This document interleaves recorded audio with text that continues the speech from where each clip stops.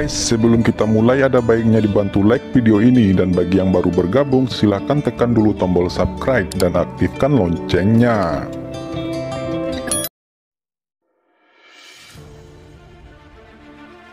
Wan Luo ingin memberitahu Hua Tiandu sekarang untuk membunuh Fang Han. Tahukah Anda, Fang Han yang hanya seorang biksu dengan enam tingkat kekuatan magis kembali ke alam pertama, bisa mengalahkan Meng Xiaobai, yang memiliki sembilan tingkat kekuatan magis, langit dan bumi. Bahkan bisa membunuh Kaisar Hantu, seperti apa jadinya setelah inti emasnya diolah. Saya khawatir itu adalah orang pertama di bawah ranah rahasia umur panjang. Sulit untuk mengatakan apakah Huatian dapat mengalahkannya saat itu. Tapi Wan Luo tahu bahwa dia sama sekali bukan lawan Fang Han. Sebuah tamparan Fang Han bisa menamparnya sampai mati. Kenapa sih? Petualangan apa yang dia dapatkan begitu cepat sehingga dia berkembang begitu cepat? Pada saat ini tahun lalu, dia adalah tingkat pertama dari kekuatan supernatural. Dalam satu tahun, dia telah berkultivasi ke tingkat ke-6. Dia mendapatkan dua artefak Tao dan lebih dari selusin harta unik. Menumbuhkan 55 jenis kekuatan gaib yang hebat. Kecepatan seperti ini tidak biasa bahkan di zaman kuno. Diskusi banyak tetua dan murid sejati tiba-tiba teringat bahwa saat ini tahun lalu, Fang Han masih menjadi murid batin. Dia bersinar terang dan memenangkan tempat pertama dalam kompetisi peringkat Sanhe.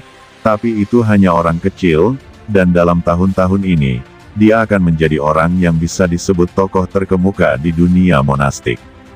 Faktanya, Fang Han tidak hanya berlatih selama satu tahun, tetapi telah berlatih selama 18 tahun di Istana Abadi Taiyuan, dan mendapat bimbingan dari seorang pria misterius. Kecepatan ini, meski dianggap jenius, tapi tidak jarang di zaman kuno. Secara umum seni bela diri, jika pemimpin itu sendiri memupuk seorang murid penting, mengajari mereka hari demi hari, dan tidak mati, dia dapat mengolah pil emas dalam waktu 20 tahun. Fang Han dan Meng Xiaobai ini memang luar biasa. Meskipun dia dikalahkan oleh Mu kali ini, potensinya masih besar. Jika dia diizinkan berlatih selama beberapa tahun lagi dan sepenuhnya memahami Kun Peng Yuan Shen, Aku khawatir kita akan gagal kali ini. Jika dia dewasa, dia akan membuat masalah di masa depan. Lagi pula, orang ini telah benar-benar diam-diam bermusuhan denganmu.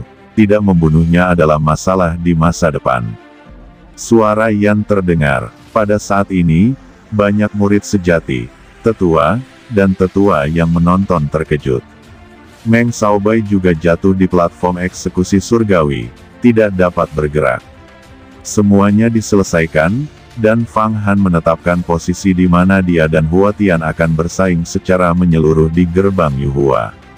Ratusan tahun kemudian, penerus dari Mahaguru ditentukan antara dia dan Hua Tian.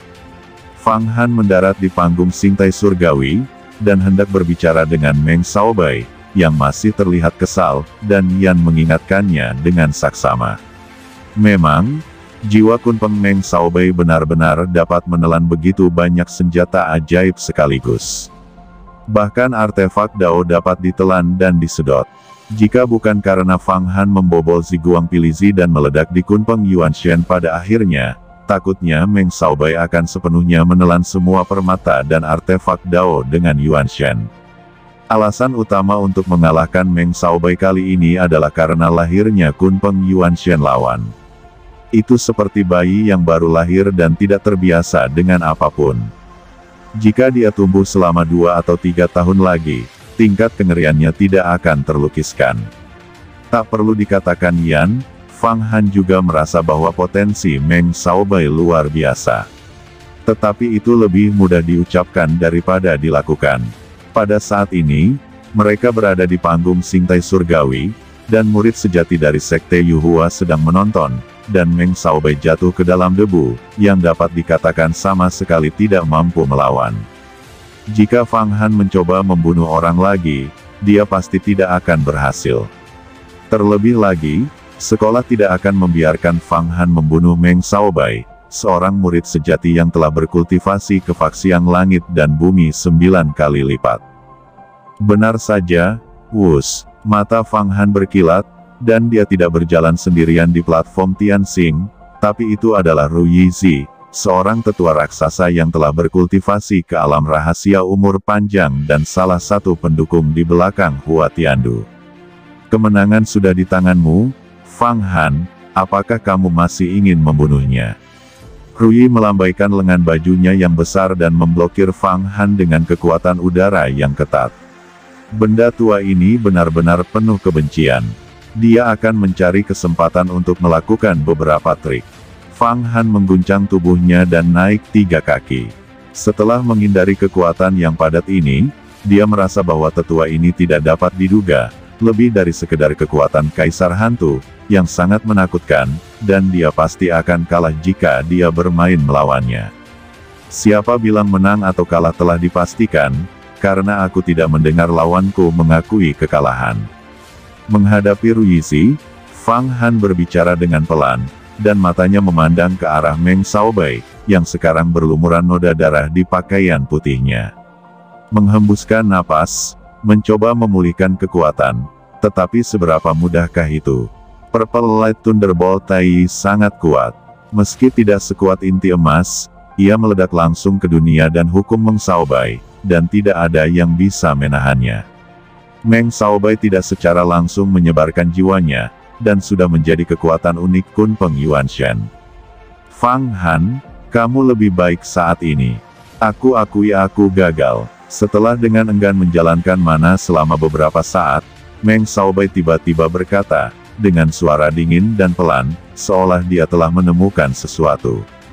Dan kembali percaya diri. Tapi kali ini saya gagal, bukan karena saya kalah dari Anda dalam Taoisme, tetapi karena Anda memiliki terlalu banyak senjata ajaib. Saya kehilangan sesuatu di luar tubuh saya. Dan Kun Peng Yuan Shen saya, anda melakukannya dengan benar. Kamu menantang saya, jelas karena kamu takut setelah saya mengenal Kun Peng Yuan Shen lebih jauh, Anda bukan lawan saya. Hahaha, saya ingin berterima kasih atas pertempuran ini. Anda membiarkan saya benar-benar menguasai karakteristik kehidupan Kun Peng dan membantu saya menerobos kemacetan. Setelah saya pulih, itu akan menjadi hari ketika Anda benar-benar gagal.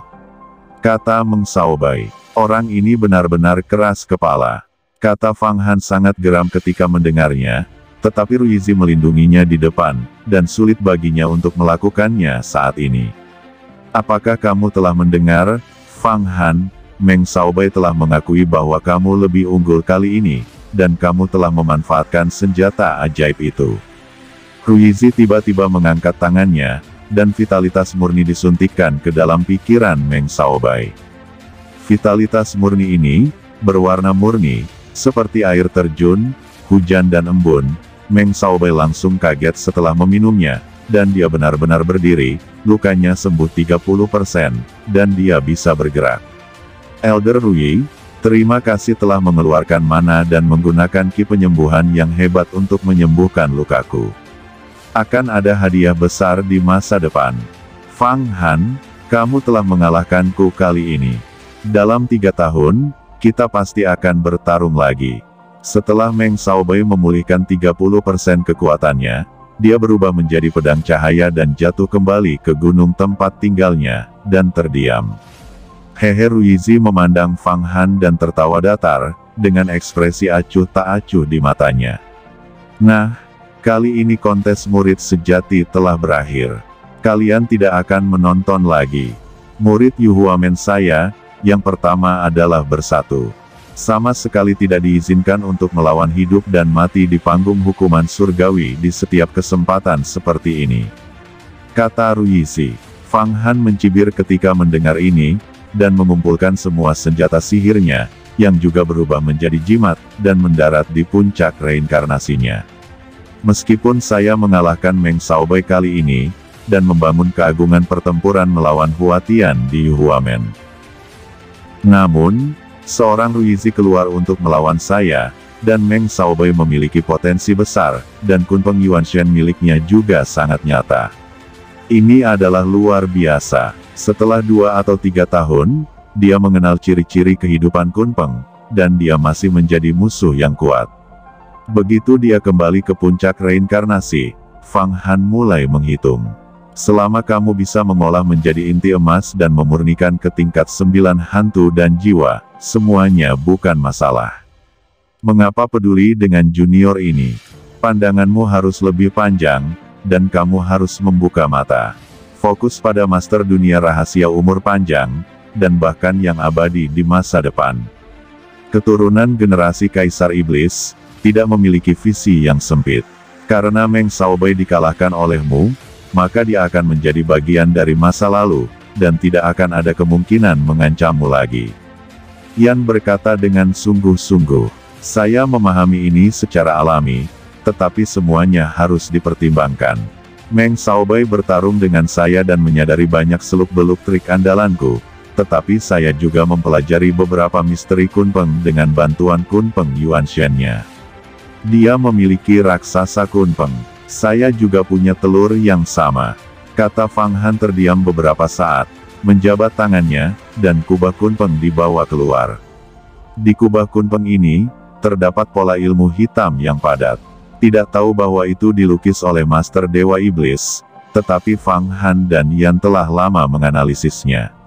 Pola ajaib ini untuk membantu kubah Kunpeng menyerap vitalitas. Dan pola ajaib itu tampaknya adalah jimat yang dibuat oleh kekuatan magis dari cara ajaib. Kunpeng terlahir dengan kemampuan luar biasa untuk memanipulasi ruang, jadi Kunpeng dewasa mengembara di alam semesta dan menelan bintang, dengan kekuatan tak terbatas. Tiba-tiba terpikir oleh Fang Han bahwa dia akan menarik kekuatan ruang dari kubah Kunpeng dan melatih tebasan besar tekniknya. Karena ketika dia mengalahkan Meng Xiaobai, dia menyerap sebagian darah lawan, dan dia benar-benar bisa meningkatkan kekuatan teknik pemotongan besarnya. Yan, kubah Kunpeng ini sudah lama diteliti di tanganmu, apa sebenarnya rune di atasnya? Apakah kamu sudah menelitinya dengan benar? Kata Fang Han. Namun, Fang Han masih perlu mempelajari cara menyerap kekuatan ruang di kubah. Jika itu adalah kubah kunpeng biasa tanpa pola sihir di atasnya, dia memiliki banyak cara, tetapi sekarang pola sihir di atasnya memblokir semua vitalitas. Yan tiba-tiba menyadari dan berkata, saya masih ingat karakteristik kunpeng Yuan Shen Meng Xiaobai. Tapi mengapa ada pola sihir master tingkat Dewa Iblis di kubah kunpeng yang ini? Fang Han tertegun. Dia tahu bahwa teknik penghancuran hebat dan teknik pemotongan hebat semuanya adalah kekuatan supernatural di antara gerbang sihir. Mereka sangat kuat, tetapi mereka sangat sulit untuk diolah, dan memiliki tingkat kesulitan yang sama dengan kekuatan sihir besar lima kaisar. Meskipun Komandan Iblis mampu melakukan teknik penghancuran besar, itu adalah kekuatan biasa.